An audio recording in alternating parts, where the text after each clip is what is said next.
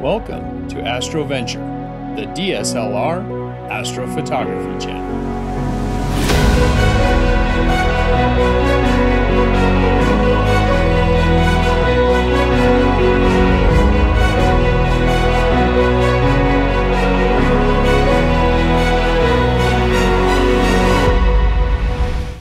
Hey there, AstroVentures. Welcome back. If you're new to this channel, let me introduce myself. My name is George, and this is the astrophotography channel for DSLR or mirrorless camera bodies, combined with the lenses we already own and a simple star tracker like the SkyGuider Pro or the Star Adventurer. Now, tonight I wanted to go over five points. And before I tell you what those points are, let me tell you, the other night I was out with the New Moon crew, the group that I go out to do astrophotography with, and we were all kind of hanging around waiting for the, the, the moon to finally go down and get set up.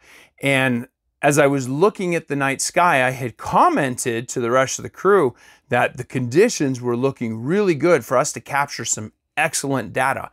Now, we had been joined by some other astrophotographers that are new and getting into uh, this rather expensive hobby.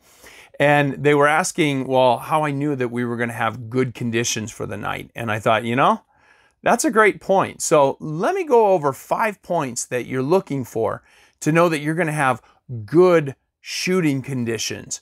So first off, um, no wind. You don't want any wind. And I'm just talking about the low level winds at ground level.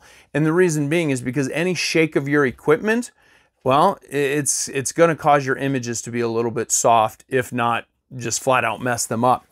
Number two, when you look at the stars, you want the stars to not be twinkling in the night sky. Now, there are some stars because of their nature that do have a bit of twinkle, but as a general rule, stars don't twinkle.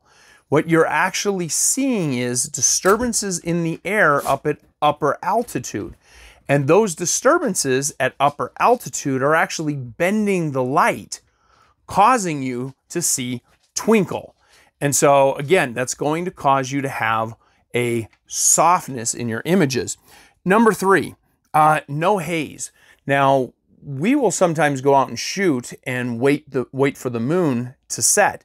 And if you're looking up and you have one of those nights where there's just no haze ring around the moon, Oh yeah, you've got great conditions up there at higher alt or higher elevation or higher altitude, either or. Um, so if you've got a lot of haze going around that moon, you could either have uh, smoke or you could have a, a high humidity. Something's going on. Your images are going to be softer. So if you got that night where there's just no haze around that moon, oh yeah, that's going to be a sweet night. Uh, let's see here. Number four. Uh, this one here has more to do with preparation more than the shooting conditions themselves. You want to wait until you're deep into the night hours where the big swing in temperature is over. And why that matters is because when you're uh, when you start shooting too early in the evening, your optics are going to shift slightly in their focus due to the cooling of your equipment. So although I can watch the clock to know exactly when to start shooting, um, I'm also actually watching the thermometer to see when we're kind of past the big swing in temperature for the night. And then I like to get shooting because otherwise I tend to get some softer images. And number five, you're also going to be looking for those nights where you have low humidity. Uh, for some of you, depending on where you are, uh, you may be in a state that has high humidity and you just have to live with it. However, if uh, you're on a night where the humidity is particularly high and you can skip it, skip it.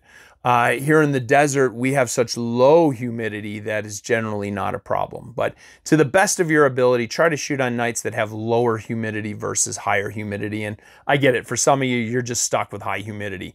But I guess we could say, go for those nights where you have less high humidity.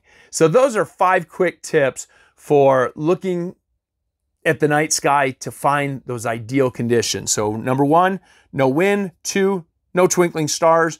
Three, no haze around the moon or in the sky. Uh, four, middle of the night temperature swing is already passed, so we've kind of settled into the night temp. And number five, avoid higher humidity nights. Okay, until next time, I wish you clear skies and uneventful nights.